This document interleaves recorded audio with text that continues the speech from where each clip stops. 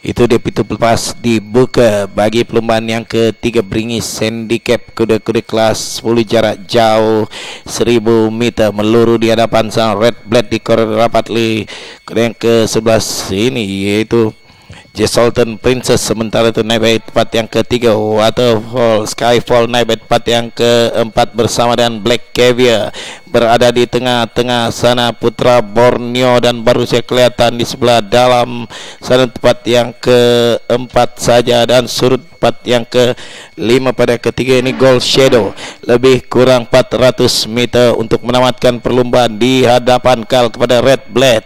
Sementara itu Skyfall naik di sebelah dalam tempat yang kedua ketiga di sana. Yang kedua Black Caviar naik di tempat yang ketiga. Lebih kurang 50 meter di sebelah dalam baru saya kelihatan Ocean Girl tempat yang kelima pada ketika ini. Lebih kurang 150 meter. Skyfall. Dan di sebelah dalam Water Princess naik di tempat yang ketiga. Keempat di sana Ocean Girl. Saya kira Water Princess kan naik peluang Water Princess berdalam Black Caviar kedua ketiga di sana Skyfall. Menang bagi Water Princess pertama. Kedua kepada Black Caviar ketiga Skyfall. Seterusnya tempat yang keempat.